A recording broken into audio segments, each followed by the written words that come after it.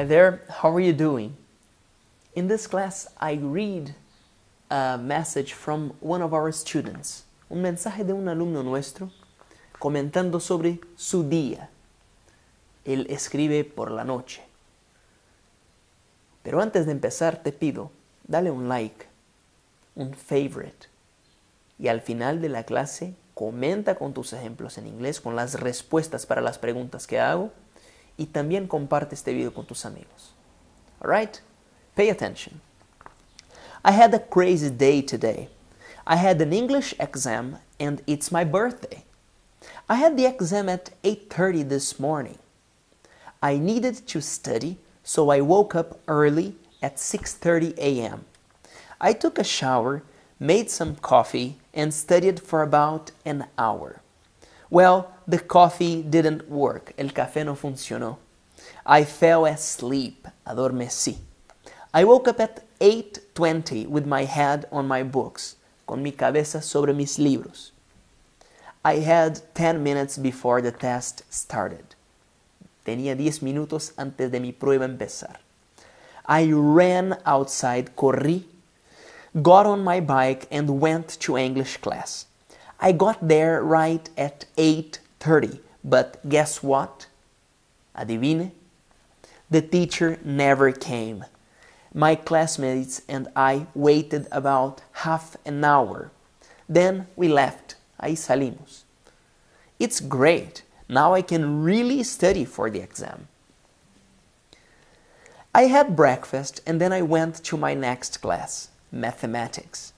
I think math, I think math is really hard, but I have to take it. Tengo que estudiar esto. My teacher talked for an hour. I wanted to write some notes, but I fell asleep. Adormecí. I need to borrow my friends' notes. Tengo que prestar las notas de mis amigos. After I finished class, I met my friend Luisa and we went to a movie together. It was my birthday, so she paid. Ella pagó. Great. We saw the new Nicole Kidman movie. You know, I usually like her movies a lot, but I didn't like this movie very much. No me gustó esta película mucho. When I got home from the movie, my mother called and sang happy birthday to me. Now I think I have to stay up and finish a paper for a class tomorrow. I hope I don't fall asleep again. Espero que yo no me eh, duerma otra vez. This post was from John and he wrote at 11 p.m. Now I ask you a question. What time did he wake up? What time was his English test? Does he like maths? And you, do you like mathematics? Go on our website, complete the exercise, and check the options with certificate para documentar tu aprendizaje. Thank you very much. I'm Felipe Gibi.